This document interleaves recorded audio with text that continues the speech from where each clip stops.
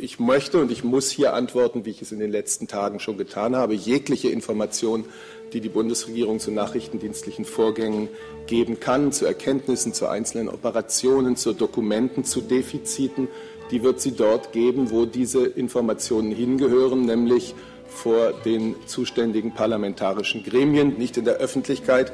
Darüber hinaus sind es die parlamentarischen Gremien, wo darüber berichtet werden kann, äh, was sich unter diesem Begriff Defizite versteht, wie man damit umgeht, welche Konsequenzen zu ziehen sind oder schon gezogen worden sind.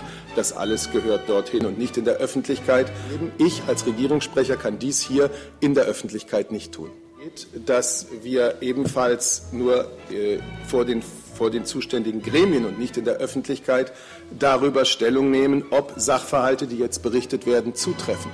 Es wird nichts im Raum stehen gelassen, aber es wird auch nicht alles, was nachrichtendienstliche Tätigkeiten betrifft, in der Öffentlichkeit äh, debattiert. Das ist Usus. Es wird natürlich Aufklärung gegeben, es wird Information gegeben, den dafür zuständigen Gremien im Deutschen Bundestag und nicht hier vor Journalisten. Ich weiß, was ich hier als Regierungssprecher für die Bundesregierung zu sagen habe, wie weit ich gehen kann und was, und das ist ein großer Teil dessen, was Sie interessiert, äh, in die entsprechenden demokratischen Gremien gehört und nicht in der Öffentlichkeit.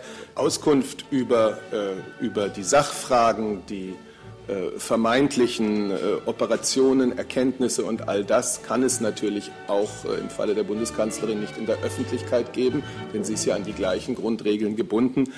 Im Übrigen wird diese Aufklärung natürlich dort zu leisten sein, wo der Bundesnachrichtendienst parlamentarisch kontrolliert wird, nicht in der Öffentlichkeit, also in den zuständigen Gremien und die werden von der Bundesregierung intensiv unterstützt dabei. Und deshalb muss es darum gehen, dass so schnell wie möglich Aufklärung darüber erfolgt, was wirklich geschehen ist und was nicht. Und zwar dort, wo es hingehört. Nicht in der Öffentlichkeit. Im Deutschen Bundestag, dem Parlamentarischen Kontrollgremium und im NSA Untersuchungsausschuss hat. Unser Interesse ist die vollständige Aufklärung dieses komplexen Sachverhalts, nicht in der Öffentlichkeit. Ich habe Ihnen zu der Aufklärung und wo die stattfindet nach unserer Vorstellung das gesagt, was ich zu sagen habe.